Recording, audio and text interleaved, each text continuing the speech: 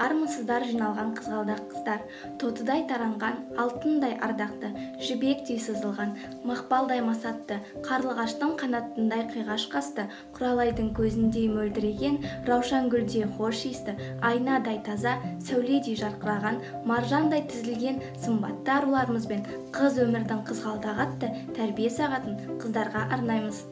Қыздар қыздар көңілдің көк гүлдері көк гүлдердің көзге ыстық кептерлері азаймандар арулар жауқазындар азаймасын өмірдің көктемдері демекші. Біздің топтың қыздары нәзіктік пен сұлулықты ұяңдық пен инабаттылықты және сыпайылықты әдемілік пен және өнерлік пен іскерлікті шеберлік пен ақниеттілікті ақ көңілді қасиеттерді бойына дарытқан қыздар жиналды. Солардың ішіндегі ең сыпайы ең әдемі қыздың бірі қымбаттың орындауындағы әдемі өлең жолдарын қабыл алыңыздар.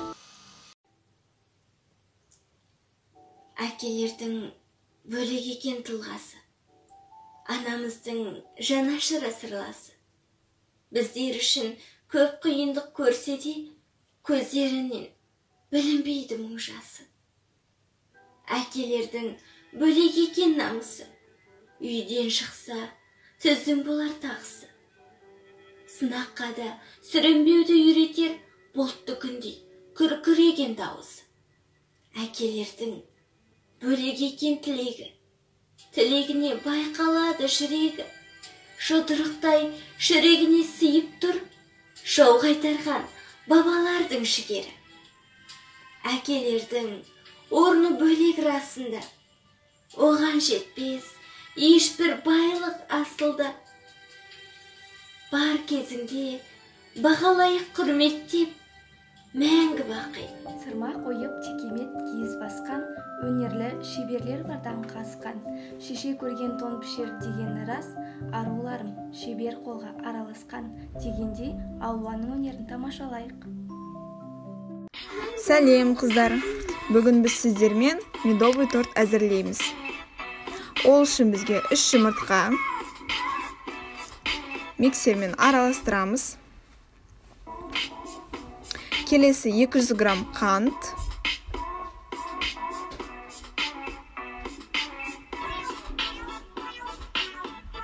Келесі 100 грамм ерітілген май яғни пампушка.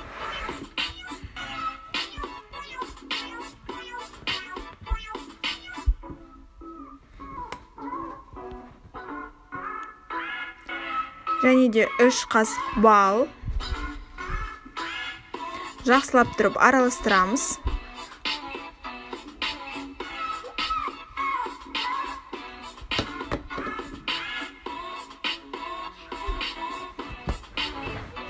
Содан кейін ас содасы. Бір бір жарым қасық.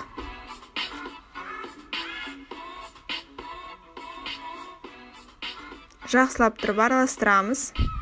Келесі ұн ұнды керегінше саламыз. Қамыр болғанға дейін. Қамырды илейміз. Келесі бес бөлікке бөліп жаямыз.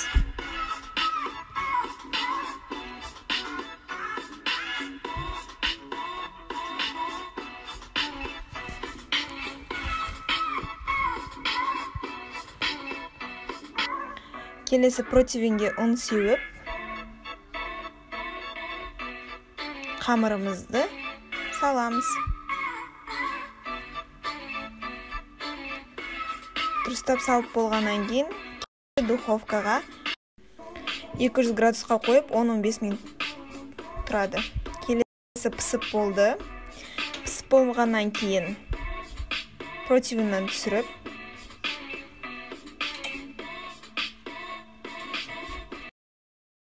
қамырымызды духовкаға саламыз.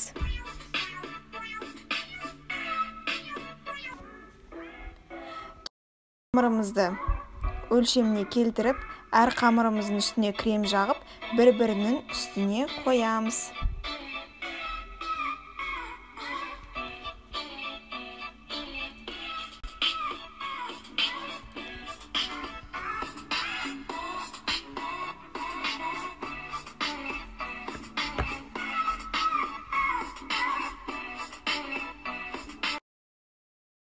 Қамырымыздан қалған қалдықтарды ұнтақтап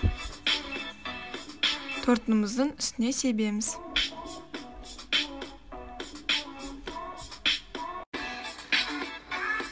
Осымен бүгінгі біздің тортымыз дайын. Енді келесі кезекте сұрақ жауап. Бірінші сұрақ жасау дегеніміз не? Жасау дегеніміз қызға берілетін дүние мүлік екінші сұрақ қазақтың ұлттық тағамдарын ата қазақтың ұлттық тағамдарына қазқарды жия қордірімшік айран бауырсақ тағы да басқа тағамдар жатады. Үшінші сұрақ. Қыздардың тұрмысқа шығарда киетін ұлттық бас киімі? Қыз ұзатылғанда киетін бас киім сәукеле деп аталады. Келесі сұрақ. Қыздарға арналған сәндік зергерлік бұйымдар түрі? Қыздарға арналған сәндік зергерлік бұйымдар моншақ жүзік алқа және тағы басқалары жатады. Соңғы сұрағымыз байғазы дегеніміз не? Байғазы дегеніміз жастар өздерінің жаңадан киген киімдеріне үлкендерден немесе бір бірінен байғазы сұрайды. Ақшалай және заттай сыйлықтар береді. Ару қыздар жарасып сән құрмай ма? Сәнді киім гүл көктемнен аумай ма сұлу қыздар таң қалдырып біздерді сылаң қағып ортамызда тұрмай ма дегендей анар мен балнұрдың өнерін тамашалайық.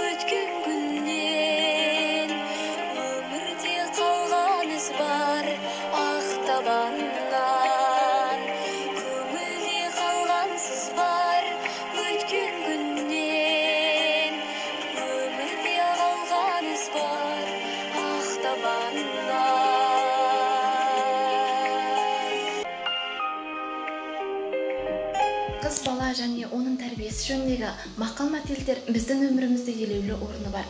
Қыздар білетін мақалдарың болса айтып жарысып көріңдер. Ақылды қыз білімге жүгірер ақылсыз қыз сөзге ілігер. Өмірдің қызғалдағы. Қызым үйде қылығы түзде. Ұлың өссе ұлы жақсымен ауылдас бол. Қызың өссе қызы жақсымен ауылдас бол. Қыз қылығымен әдемі біздің топтың қыздары сегіз қырлы бір сырлы.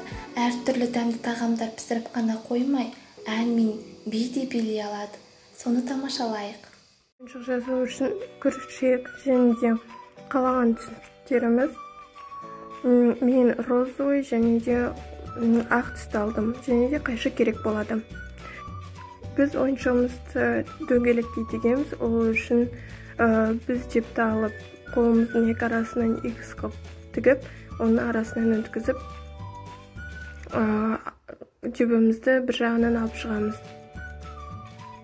Сосын осы екі жіптің арасынан жібімізді алып шығып екінші рез қайтадан кіргізіп тігіп шығамыз. Сөйтіп алты рез жасаймыз. Сосын қысқа жібімізді алып тартқан кезде бізде домалақ ә, пайда болады. Сол домалақты тіркеу үшін бірінші жасалған жүрегіміздің арасынан өткізіп тағы да жібімізді алып шығамыз. Сосын жалғастырып тоқи береміз.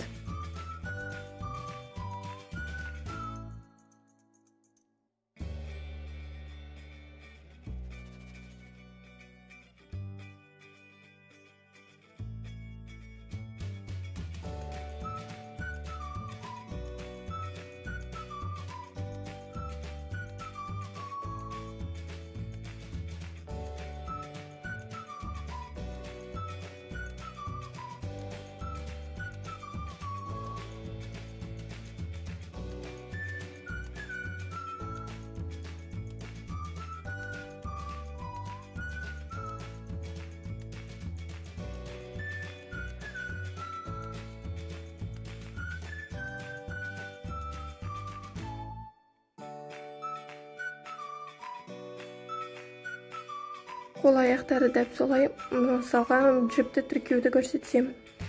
Ә, жіпті тіркеу кезінде ә, тоқып жатып басқа түсімізді алып жаңағы жүрекшемізден өткізіп ә, екі жіпті бірге қосып алып бірақ алып болғаннан кейін керекті жібімізді аламыз. Өткізген кезде біз сол керекті жіппен ары қарай тоқи бастаймыз. Сол кезде біздің ә, ә, тоқылмайтын жібіміз өзі қалып қояды және де сол қалып қойған жібімізді ә, алып салуымызға болады. Ол қап кетпейді. Және де сол қалпында тоқи бастай береміз. Соның керектідей тоқып алып оны бір біріне тіркесек болды.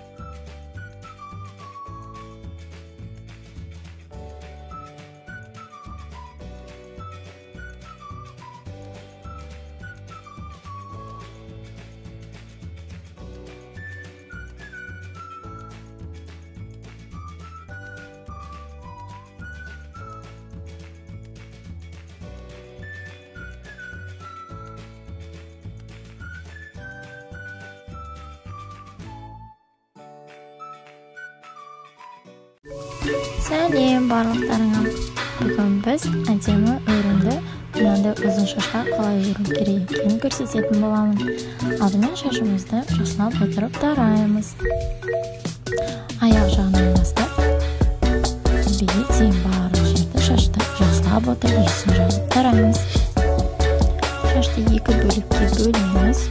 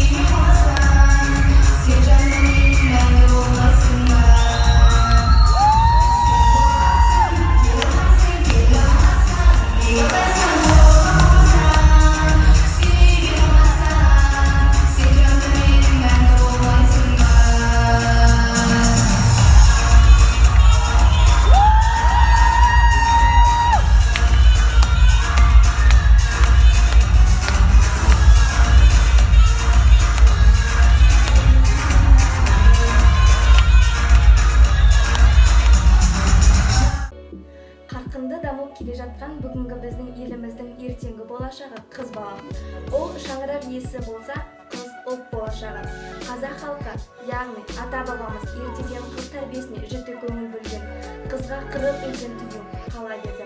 Есік алдына күннен тыю деп бекер айтпаған. Бүгінгі таңда қыз тәрбиесі өте алаңдатарлық мәселе қыздар әдемі болыңдар әсем болыңдар сонымен бірге ақылды болыңдар сұлу болыңдар сымбатты болыңдар сонымен бірге саналы болыңдар. Инабатты болыңдар ілтипатты болыңдар сонымен бірге ұйымшыл болыңдар. Бүгінгі біздің қыз өмірдің қызғалдағы атты тәрбие сағатымыз осымен аяқталды. Келесі кездескенше сау болыңыздар. Назарларыңызға рахмет.